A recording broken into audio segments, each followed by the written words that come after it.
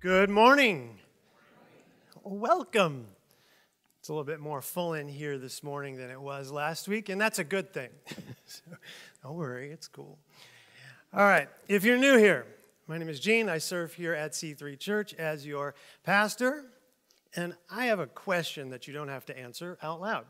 But I wonder how many other people here have been lost as a kid? Now, I've talked about this in the past. It happened to me as a kid when my mom would be shopping.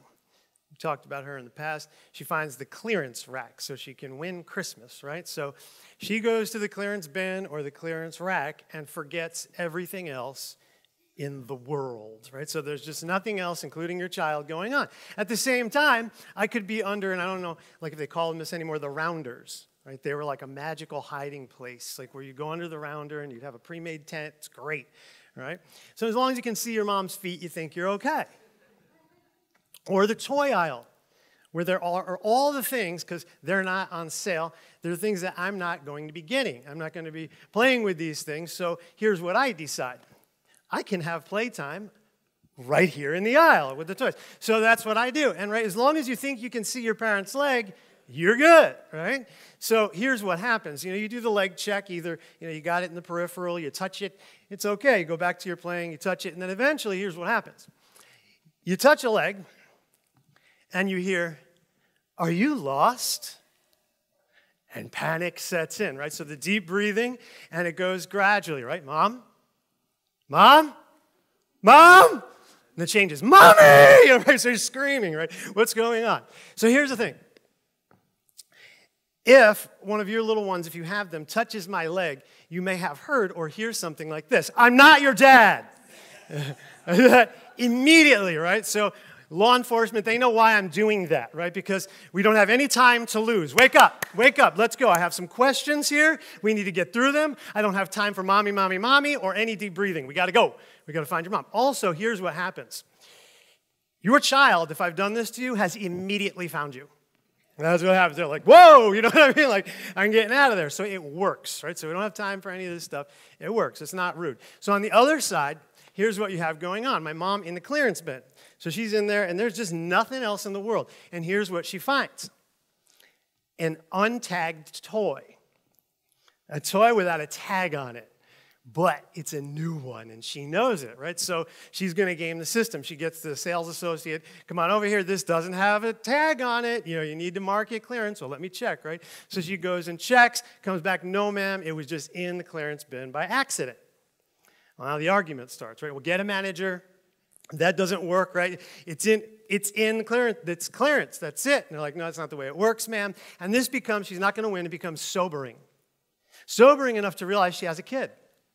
Then she goes through the cycles, right? Like in my case, like Gene, Gene, it's the sing songy thing. Gene, and then it changes too. Jeannie, you know, it's like my little baby name. She starts, my son, right? So then the Good Samaritan hears this and goes, ah, you see why I did that? I got it quiet enough because if you're doing the mommy thing, we might not have heard this here. This is your mom. And then here's the process of the emotions. You had the panic going on, and there's this brief stint of gratitude to the Good Samaritan. But that goes away really quick, right? So thank you so much. And then it goes to anger.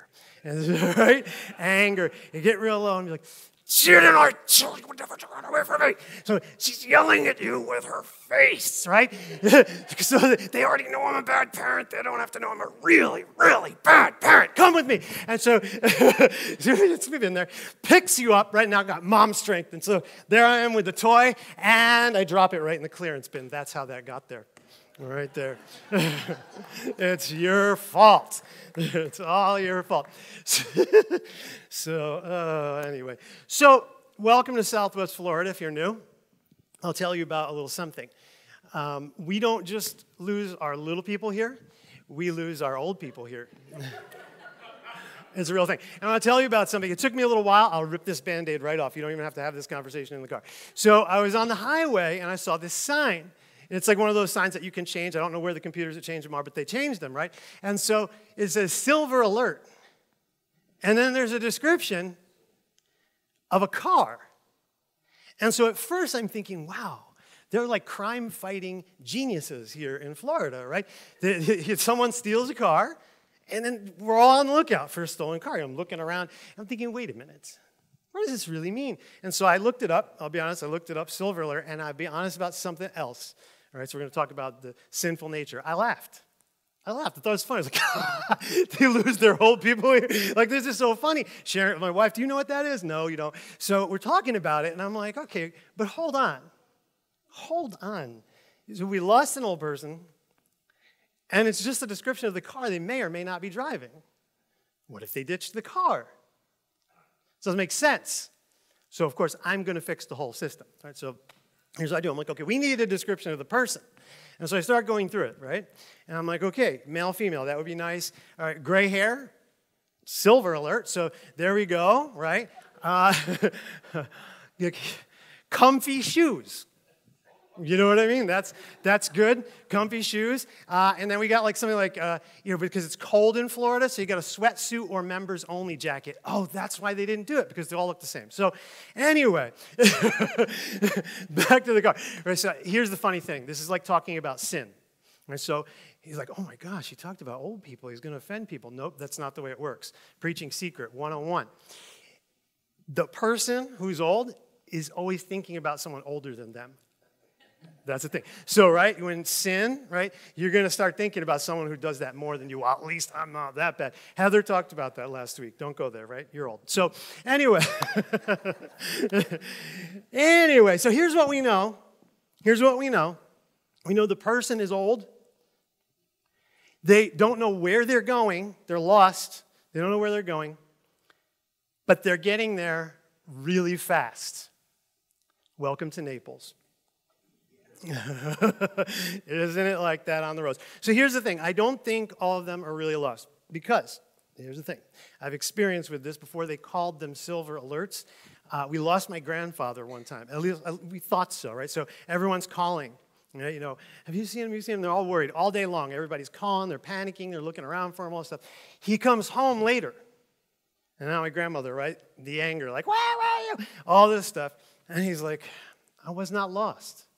I was at the movies to get away from her, right? So, that so if your old person is lost, remain calm, all right? So they may just be, they need some time away from you all. That's what it is. all right, so that was my long way of getting to Jesus going missing. That's what we're going to talk about today. Jesus went missing at one point, and that's what we're going to look at in these accounts. And so here's the other thing everybody who's been here for a long time, they're like, oh, that was a long joke. This is going to be a hard message. That's, so you know how that works. It's okay. We'll survive. I'll get there. Just don't be too mad at me. Be mad at God, because that's what I'm you know, just quoting the scriptures. All right. So, so here we go. We're at, we talked about, well, skipped over, so a Christmas time message, the birth account of Jesus, the genealogies, and it led to no matter where you've come from, you are welcome in the family of Jesus. That was the point. Heather kind of shared her testimony and elaborated on that point. If you know her story, definitely, right? So you're all welcome here, no matter where you're at in that whole thing, no matter what you've done, no matter where you've come from. Good. You found the right place. That was the point. So we're back in the rest of the story. This is our series. And we've learned that the Bible is not in chronological order. So I kind of put it back together for you with a chart. And here we go. So we have to hop around a little bit. Matthew's the first gospel, but there are parts of Luke that are kind of here and there. And so you see this part of Matthew here, it goes right in between these two sections of Luke if you're doing it chronologically. So what's kind of cool is today is the eighth and right here in the Word of God, it is eight days later. So kind of neat when that works out. We'll start right in Luke 2 21. Eight days later, when the baby was circumcised, he was named Jesus, the name given him by the angel even before he was conceived. Then it was time for their purification offering, as required by the law of Moses after the birth of a child. So his parents took him to Jerusalem to present him to the Lord. The law of the Lord says if a woman's first child is a boy, he must be dedicated to the Lord. So they offered the sacrifice required in the law of the Lord either a pair of turtle doves or two young pigeons. So here's the thing I put that quote up there, and if you look before it, uh, it actually says the woman must bring a one year old lamb.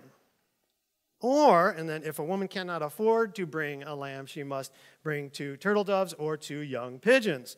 So this gives us a little insight, and it's just a place where I can show you again, really good to know the Old Testament too. A third of the New Testament is Old Testament quotation, like we see here. And then you get a little background. What?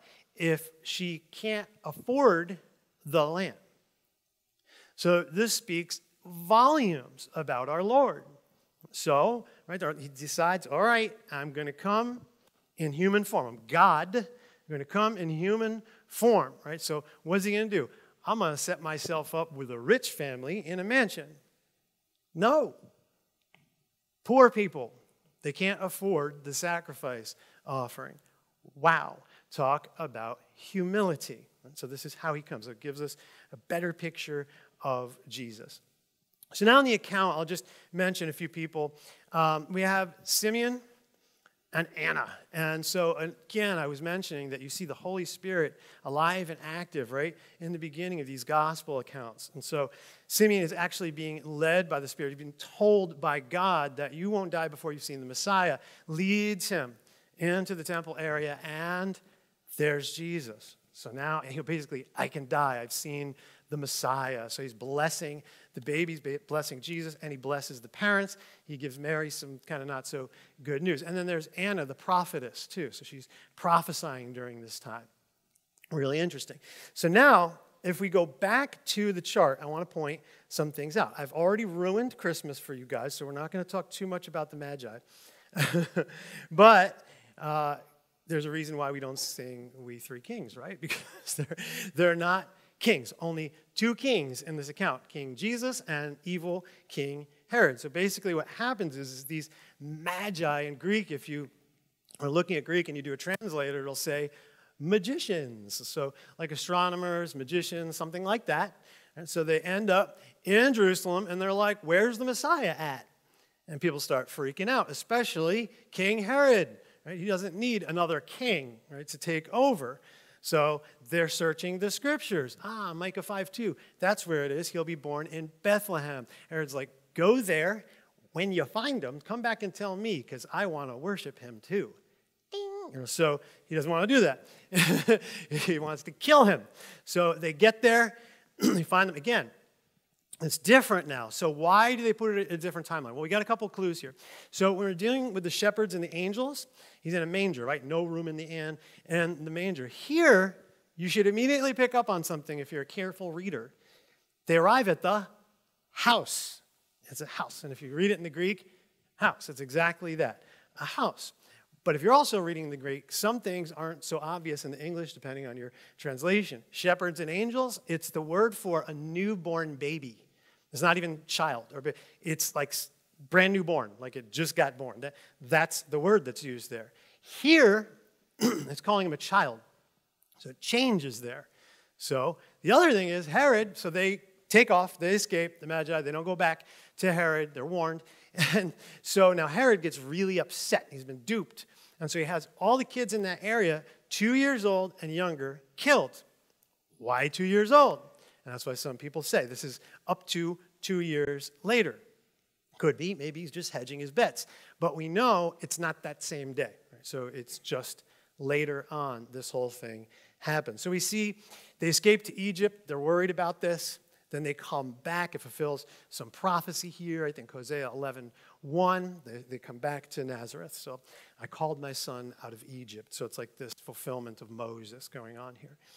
So now about 10 years later in the chart, we can go to Luke 2:41. So all that happened right there in between these two accounts in that chapter of Luke. Every year, Jesus' parents went to Jerusalem for the Passover festival. When Jesus was 12 years old, they attended the festival as usual. After the celebration was over, they started home to Nazareth, but Jesus stayed behind under the toy rack, right under the, the, the clothing rack.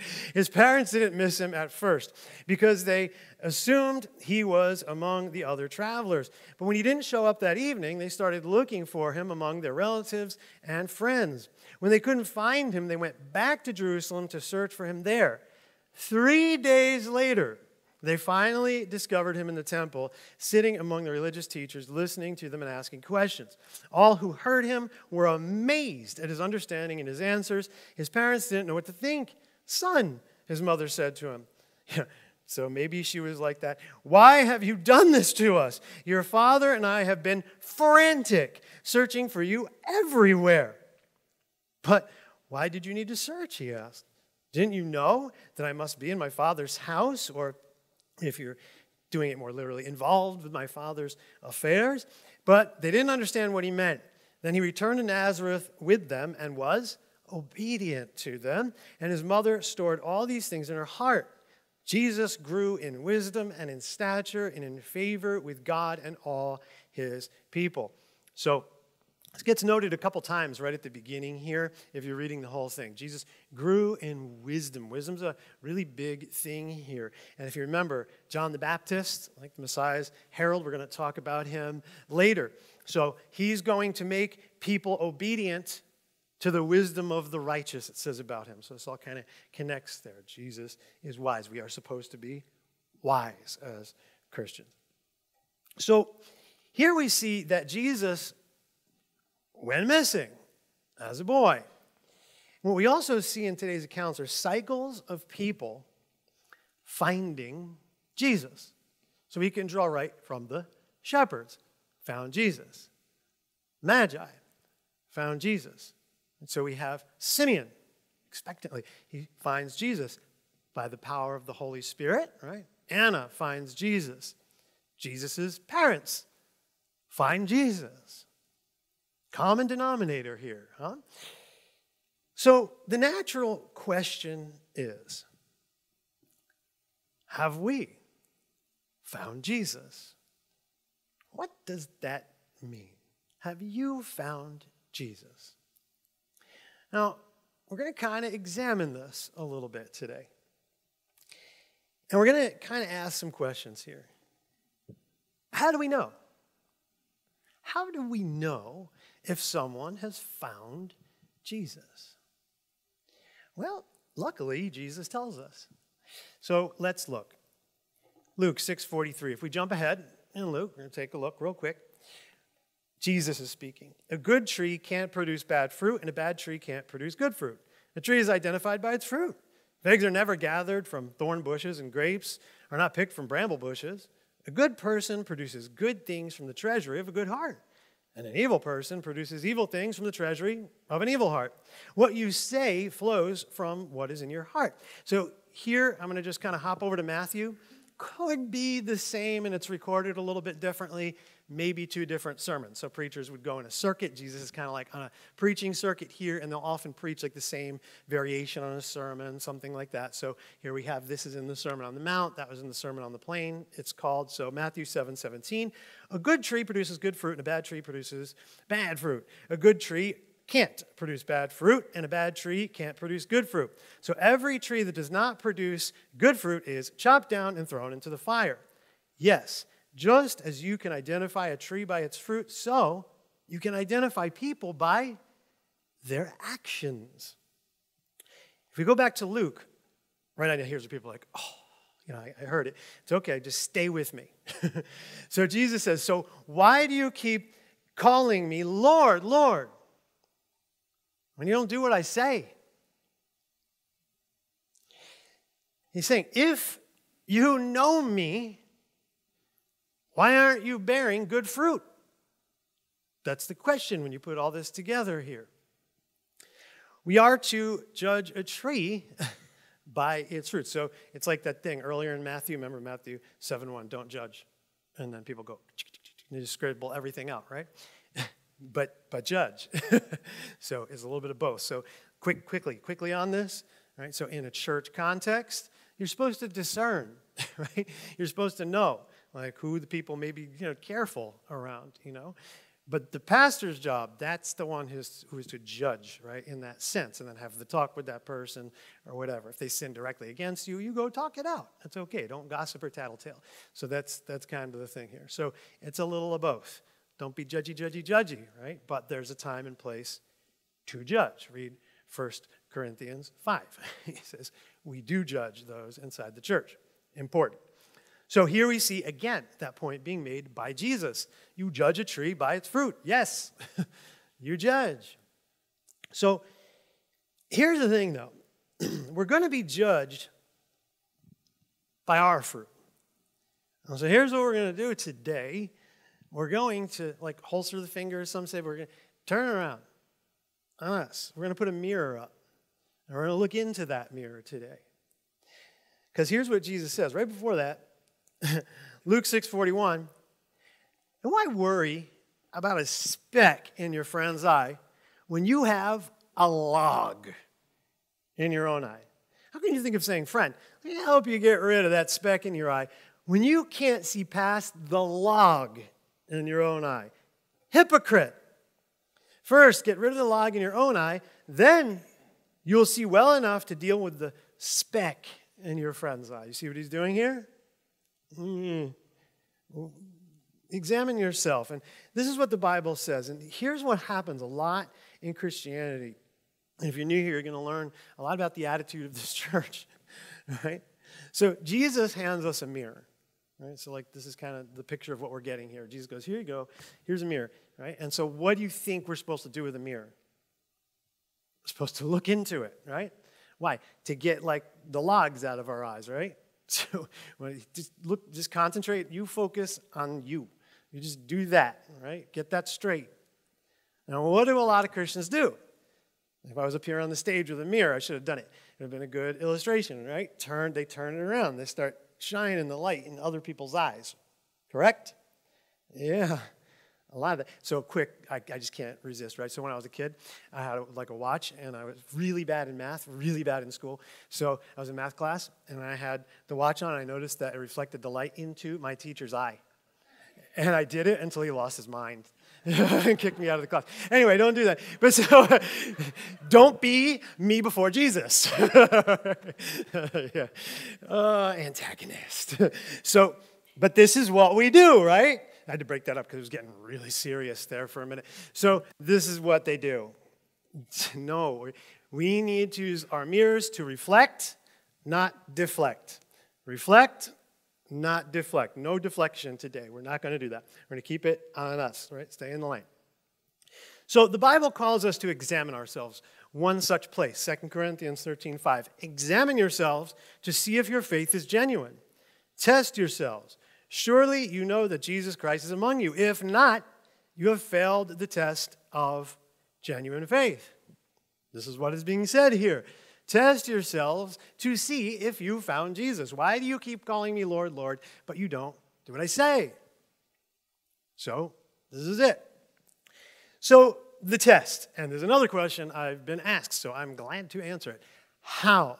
Well, we saw it judge a tree by its fruit. But we can do so with scriptures. And so that's what I'm going to do today. We're going to kind of do an interesting Galatians spirituality test. I'm going to use scriptures to make this point. I'm going to show you both sides of it here, and then we'll all get through this together. Right? So, first, let's look at the flesh. This is concept you have to understand. The flesh versus the spirit. Important. So, scriptures. Galatians 5 16. So I say, let the Holy Spirit guide your lives. Then you won't be doing what your sinful nature craves. Two different things. The sinful nature wants to do evil, which is just the opposite of what the Spirit wants. And the Spirit gives us desires that are the opposite of what the sinful nature desires. These two forces are constantly fighting each other. So you're not free to carry out your good intentions. So you see the concept here. We have a sinful nature, it's in all of us. We're just born with it. And so the Holy Spirit helps clean it out. Like that's kind of the key. So this is what's going on here. So it's letting the Holy Spirit guide our lives. This is key, like Simeon, right? Guided him to Jesus. So we're provided with some evidence here. And so if we keep reading, here's what goes on. Galatians 5:19. When you follow the desires of your sinful nature, the results are very clear sexual immorality, impurity, lustful pleasures, idolatry, sorcery, hostility, quarreling, jealousy, outbursts of anger, selfish ambition, dissension, division, envy, drunkenness, wild parties, and other sins like these. Let me tell you again, as I've said before, that anyone living that sort of life will not inherit the kingdom of God. The other side.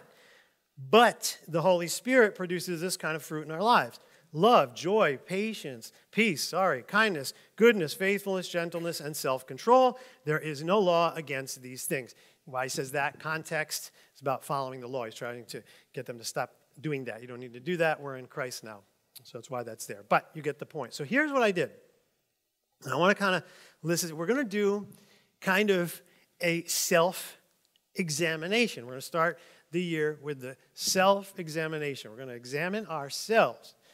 And here's a couple things do not worry, remain calm, because every living human being has done one of the bad things in the first part, or maybe all of them. That's our sinful, what does it say? Nature. Right? So, more literal, like the sins of the flesh. Well, why does it say that? Why does it get translated nature? Flesh, right? It's a part of your human makeup. Like, that's not that, but who you are, right? It's a part of just who human beings are. So, the first thing that I want to do walking into this is to say to all of you that, the, I guess the bad column, which way is it for you? On the right, I've done all that. all right? I've done all that. And I can struggle at times with some of that. All right? So it's not, it's not like I hate this, like, like he's talking about me. You know, it's like, listen, I was not thinking of you as I prepared this sermon. Don't do that. I sit with God, and just He tells me what we should be working on. But I thought about you after I prepared the sermon. So, just saying. But anyway, uh, so done all that. Struggle with some of that, right? As I walk more and more with the Lord, less and less of that. So this is the point. It's not to say you know, you're done. Like, you check that stuff off. That's not the point. So let's just identify some of these things. In identifying them, you, you know, if you're like some kind of English major, you might be looking at it and going, that's not the exact definition of that word. No, that's not the point. That's why people don't understand things, because of people like you. So I'm trying to make it easy to understand. Do we understand this? Like, so it's just really easy to understand. So I'm going to make this as uncomplicated as possible for you. So love, here's the thing. And also, it's also, you're, you're, you're, you're cross referencing it with like the biblical meaning of it as well, right? So it's not just Merriam-Webster or whatever it is. It, you you got to look at the Bible and how to understand these things as Christians. So when we look at love, love is living, it's yes, affection, yes, right? But what comes with that? Living sacrificially for others.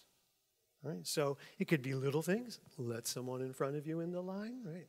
Whatever it is, especially if they have crazy kids, right? Go ahead, right? So, you know, showing love, sacrificial. It could be big things. You know, Jesus says, right? No greater love than this, that someone would die for somebody else.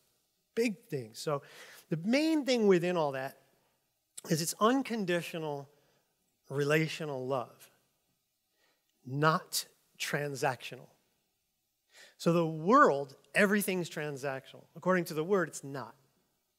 Right? So the world and the worldly person will use terms like, that's not fair.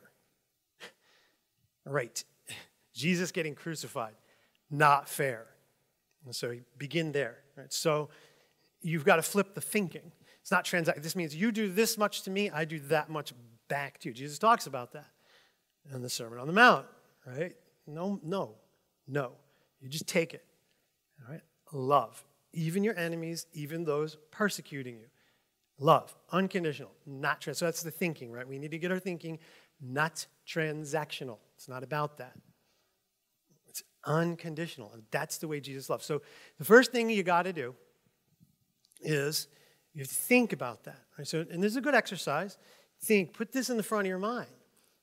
Jesus, God, right? Remember, he came into that poor family and then he got crucified for you. God died a horrible death for you.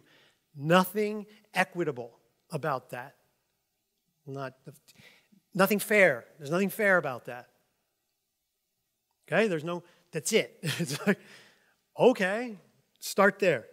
All right? So bring yourself to that's base. Like stay there. All right? Keep that thought in your head as I go through these. Joy, happiness, like a sense of well being. But here's the thing for a Christian, it's different. It's in all situations.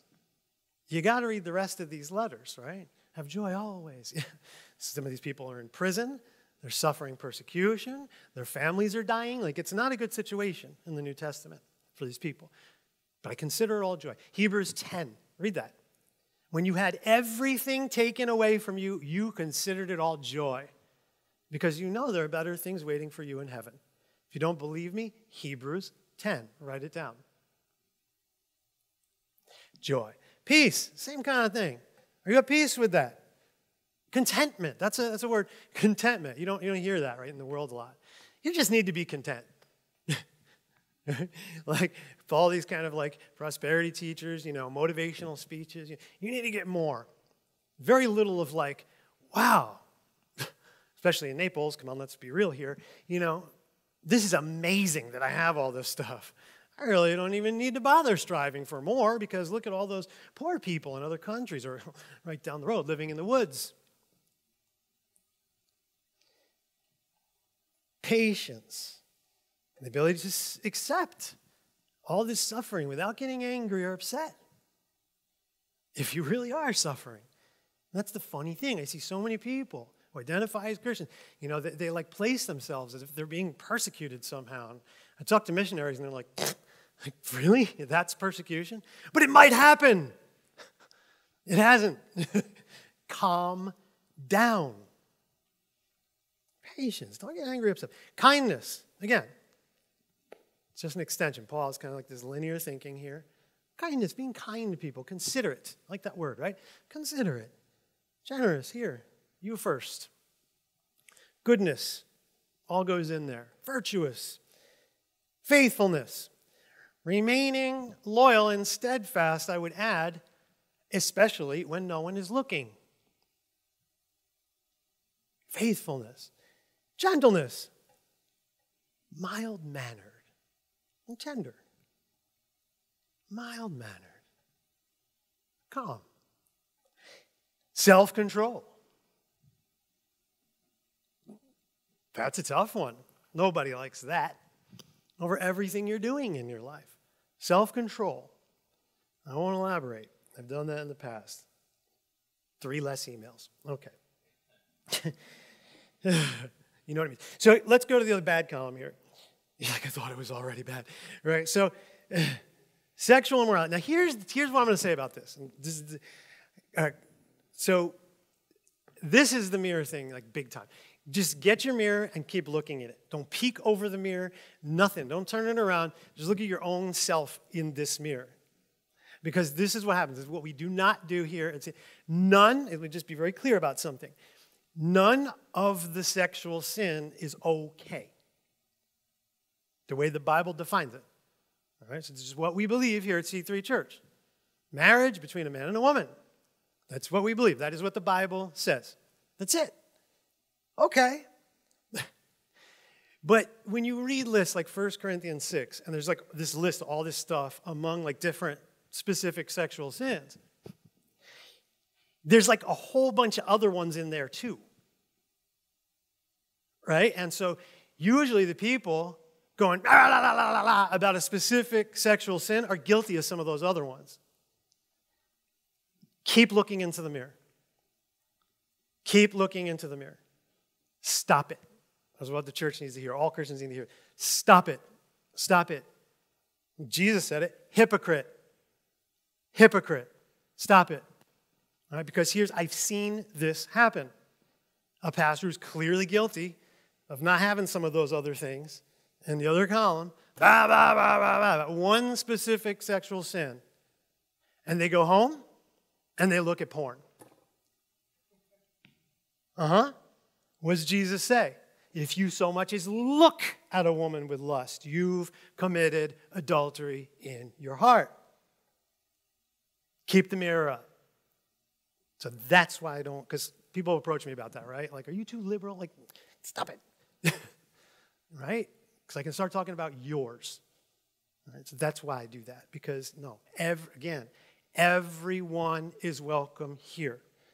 I do care, but you understand my heart when I say this. I don't care what the exact specific, I'm not going to pick on your exact specific sin. All right? We are all guilty.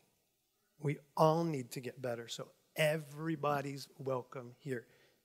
That's what everybody needs here. So don't pick your favorites. Idolatry, sorcery, trusting in people are things, and we're like, that's not the little, just this is the idea, right? So if we did sorcery, right, we're trying to cast a spell, or maybe you got a Ouija board, maybe you do, you know, actually modern day, the uh, astrology, the astrology stuff, right? So what are you trusting in? Why are you doing that? The root of it is you don't trust God. Go to the Word of God. You have everything right there. And just trust, right? So that's it. Why are you doing that? And it could be people or things or institutions. That's idolatry. It could be a pastor. Don't trust in me. I'm just a humble servant who will die. That's it. I am nobody. So, pastor worship, that's another thing people do. Politicians, different things. No, no, no, no, no. All of our trust must be in God alone. It's funny, it's on our money, right? But we don't even realize that. So, that's idolatry. Hostility. Now, so I'm going to kind of couple these two the quarreling and the hostility. We're going to get over that. So, belligerence, if you don't know what belligerence means, it's being warlike, wanting a fight. You are looking for a fight. And you'll find some way to get there, right? So, passive aggressiveness is a big way we get a fight when we want it. And so, we're going to post something that we know, like, you know, whatever your mom isn't going to like, right? I wasn't doing that with a toy. She doesn't talk to me, right? So anyway, so right, but you know you're going to slip something in there, and you're going to ignite the internet, right? So that's what you're looking to do. This hostility, bullying, unfriendliness, opposition, quarreling leads to these things. The quarreling, the disagreements, constantly, instead of going back to the other column and going, fine. You know what I mean? Like, that's great. You believe that? I'll believe this. I told you the truth, as the Bible says, the blood is not on my hands. That's it. I'm out. I'm going to argue with you about it. I'll let the Holy Spirit, right? So we're better, we're better lawyers than the Holy Spirit. Wouldn't it be better to use some of the other stuff in the other column to get them to Jesus, right? Make that introduction and like let him do the work? That, right? Jealousy, envy. This is why a lot of those things happen if we're being real. Jealousy, envy. You're jealous. We call it a hater. Right? You're just a hater. That's all. you're just a, you want to cry. You're a hater. Stop it. Is that still like modern language? I'm going back like 20 years. People use that? All right. Cool. It's like my daughter's like, so old. Uh, okay, so this one's kind of outbursts of anger. this is a funny one. I'm, I'm just going to go over a couple quick things. People, here's the thing: if you have not read the Bible cover to cover, and you don't do that constantly, please do not pluck out a scripture and try to argue with me about it. Like, just don't do that. It's not good. so, here's the thing: here's what they do. They go, "I'm angry, and I'm allowed to do it because Jesus got angry and cleared the temple." making me angry, right? So no, no, no, no, no. That's it. Now move on. No. So anyway, it's wrong, right? So here's a couple things. And when a person, it's so, uh, what's the word? Like revealing. You've revealed yourself if you've done that. You've revealed a couple things about you. Two main things. You don't know the Word of God at all. And you are not God, but you think you are. Because Jesus was fulfilling Scripture. That's not you. That is not you. And Jesus has something we don't really righteous indignation. There's no righteous because if you kept reading beyond that, you'd read James 1:20, which said the anger, literally wrath in the Greek of man does not produce the righteousness of God. Ephesians 4:26, I can keep going all day long. What does that say? Be angry, but don't sin. Ah, if you keep being angry, it is sin. Don't let the sun go down on your anger. Verse 27, why? Because you're going to give the devil a foothold. You've opened the door. Ah, I'm here. That's what it does. When you get angry, you're just giving the devil an opportunity now. So that's that. Anger, right here, outbursts of anger. It's a sin. It's in the sin column. Period. That's what the Word of God says. What translation is that? All of them. All of them. Did you all say? I'm telling you. all right, now here's an interesting one. I want to connect two together because it's like kind of a, it could be a house, like selfish ambition. A lot of people struggle with this. What is that? Should I get a promotion at work? That's not what it's really talking about. Like, go ahead, get a promotion at church, tithe it, Okay, that's fine. There's nothing wrong with that. There's nothing wrong with making money. We need our benefactors. It's fine. That's okay. Selfish ambition is a different thing. Selfish ambition is like literally when you're stepping over other people. Right? So when you're thinking to yourself so much that you're, you're, you're, it's hurting other people. So this happens all the time, not just like work, family, it's happened in my family. You know, my dad had some selfish ambition, but nobody else in the family wanted to go where he was going and do what he did, but he did it anyway. So that happens. That's the thing. But here's something kind of funny. This happens in, it's not funny actually, it happens in church. And so I'm going to give you a red flag selfish ambition. It's really funny. If you hear somebody going around saying, my ministry, my ministry, eh, run. Run, or help, help me kick them out of the church. My ministry, my, and those of you who have been here for a while, you know why. You know why it's really dangerous. My ministry. Listen, there you don't, it's the church's ministry, it's Jesus' ministry. Belongs to him. Again, I will die.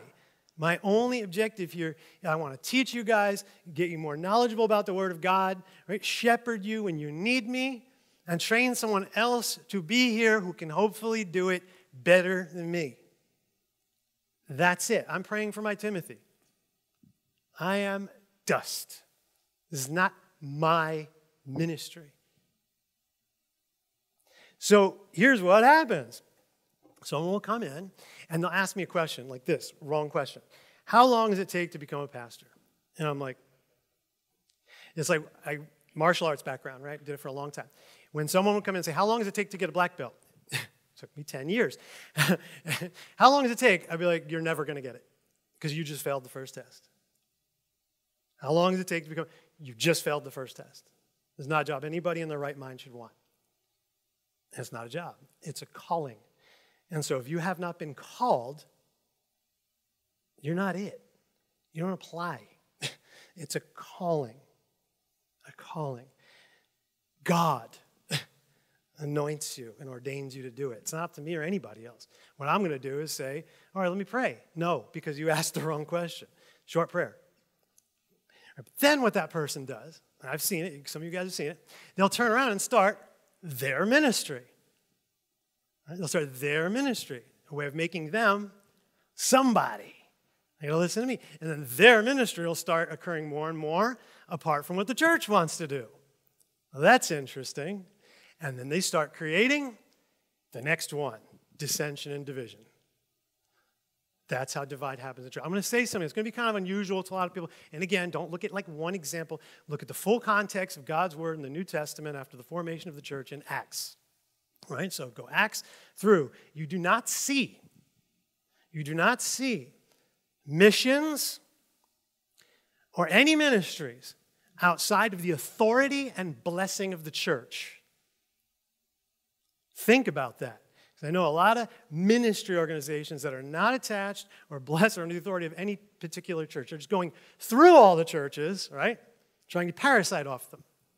That's what they do. But they're un- under no authority at all. And that's how that happens. So be very careful. Be very careful. Everything is through the Lord, through his godly leadership who have passed that test. It's really important to understand that. So that happens here, and it's worth noting. Watch out for the people that say, My ministry. Oof. We are slaves of Christ. That's what it says in the Greek. Slaves, we are bound to him. Drunkenness, intoxication, I'll leave you alone. We did that last week. So, Galatians 5:24 Those who belong to Christ Jesus have nailed the passions and desires of their sinful nature to his cross and crucified them there. Since we are living by the Spirit, let us follow the Spirit's leading in every part of our lives.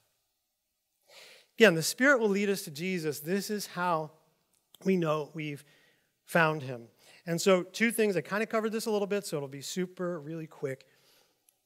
Personal, right? So, this is a self evaluation. By the way, it's in the apps. You can C3 Naples, wherever you get your apps, you'll see the blue logo, our logo there, and then you can go, I think it is a like its own thing, spiritual evaluation. And if it's not, it's in the Bible study questions.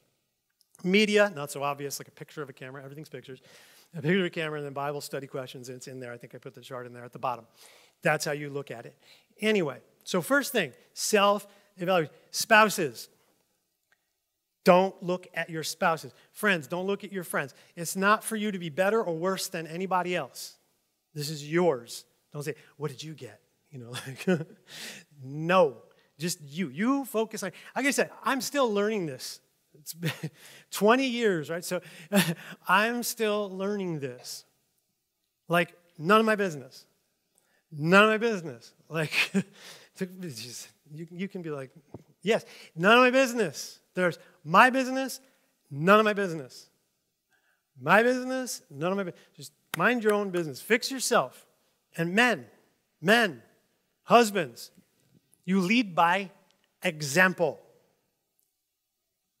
That's how you do it. Not like this. It's just, I'm telling you, 20 years. It doesn't work. It doesn't work. Just do. Just do. Just do. Just do. That's it. All right, so don't get in each other's tests. I don't want to hear about any of that. Again, these phone here's what I'm going to get. Pastor, we need a meeting. You know, no, you don't. You looked at each other's tests. And that's another thing. Stop looking in your spouse's phone. Stop, you know, like anyway. So uh, the other thing here, don't panic. Remain calm. Because I know some of y'all are going to look at it and be like, I'm not a Christian, you know, right? So, like, no, it's not what that means. Just remain calm. Like, you may, like I said, like, I've been guilty of all of the ones in the bad column. Like, just, you may have some in there, right? It's okay. Like, but here's the thing. Here's what I want to say, and we're, we're going to close soon. I was going to say, even if you've checked off most of the boxes, right? You know, you, no, I'm going to change that. Change it. I'm going to say this. Especially, hear this, especially, I spit when I say that, I know, sorry. I only got my wife. So, especially if you have checked off all of the ones in the sin column. Do you hear what I'm saying? Especially if you have checked off all of the ones on the sin column. You are welcome here. Because you are right where you need to be. You are welcome here. So this is not hearing my heart. This is not a, you know, like I'm not taking this and no, no, no. All right? We cannot recognize it, right, until we acknowledge it. That's all. Where am I having problems? And what we're going to do, we're going to lead into how to start working on those things. I'm not just going to leave you with this. I just just do this. Go do this in your own time, not here. Go do it. Think about it. Pray about it. And next part of this series, I'm going to start work. We're going to start working on it. It's a thing, fancy word words progressive sanctification. The idea is that you know you're saved, you know Jesus. Then as you go along, the Holy Spirit works on you and cleans some of this stuff out as you realize it. But here's the thing: you have to realize it. You have to acknowledge it. Like there's no problem, well then you're never going to fix that problem. All right, so we can't go around like that. There's no problem. There's a problem. So what is the problem? Like what's going on? Let's identify it a little score there, and just, just keep it per. Don't even share it with your spouse. None of your, none of your business, right? So focus there. So has someone found Jesus? Look, the thing is, if they're saying so, maybe. But we got to look at the fruit. And this fruit gives us the indicator. And so we may we have found him, we may have met him, but do we know him? Do we know him? Is he your Lord yet? So you've been introduced to Jesus, right? You may have met Jesus. Hi, nice to meet you, Jesus, and then walk away. If you're saying you are in a relationship, a committed relationship with Jesus, then it's different. Hmm, so here are the differences. All right? So we're all in different places in this walk. That's fine. And if we, as Christians who consider ourselves mature, what are we supposed to have? love, joy, peace, patience, kindness, self control, right? So we're supposed to have patience, right? Help. We're here to help. No judgy, judgy. We're here to help. So this is what we want to work on. It's all about relationship, but we must first examine ourselves. Faith comes through hearing, Romans 10. Faith comes through hearing. But now, once it's here, we want to try to get it to make the journey here. And that's what it's all about. From hearing to hearts, let's examine ourselves this week, as we're told to do. Then we'll take a closer look at that relationship with the one we have found. Let me pray for you. Lord, I pray for everyone hearing my voice. I thank all these people for coming on in here, for using this time. Time is valuable. Coming in here to hear the word of God, to commit themselves to you. Lord, I pray that they continue this process, not just in this time, but they take it with them. Furthermore, that they act as vessels of your grace, your mercy, your peace, your love so that you may be made known, magnified, and glorified. Lord, I ask these things in Jesus' name. Amen.